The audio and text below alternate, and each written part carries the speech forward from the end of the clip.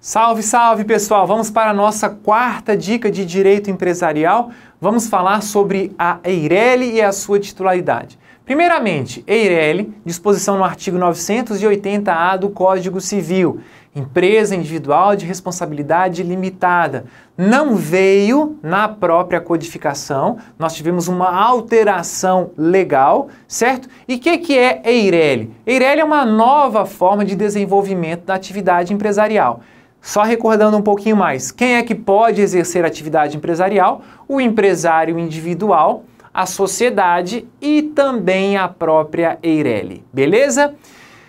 Importante. Primeiro, claro, vocês devem ter conhecimento do artigo 980-A e os seus parágrafos. Seis parágrafos ao todo, um deles foi vetado, não deixem de ler.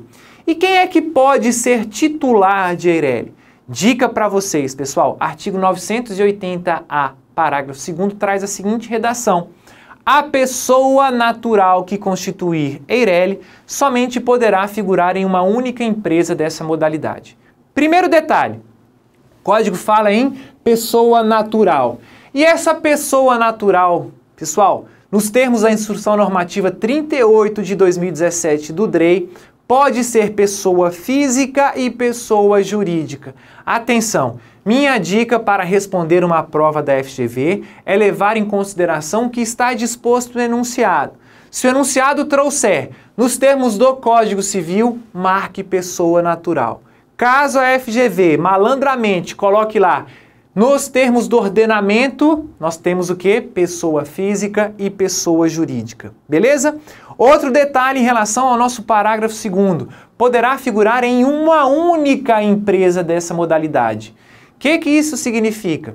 Se determinado titular de Eireli quiser desenvolver atividade empresarial, ele não pode ter outra Eireli. Pode ser como empresário individual e pode também ser sócio de alguma outra sociedade empresarial.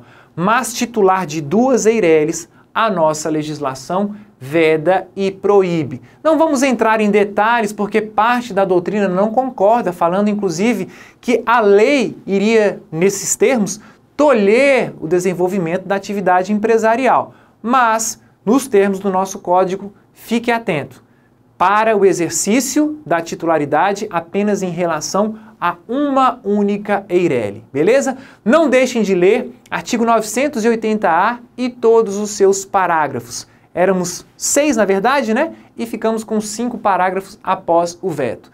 É, a, vamos dizer assim, a EIRELI é um dos assuntos muito explorados nas provas da FGV, certo? Valeu, grande abraço e uma ótima prova para vocês.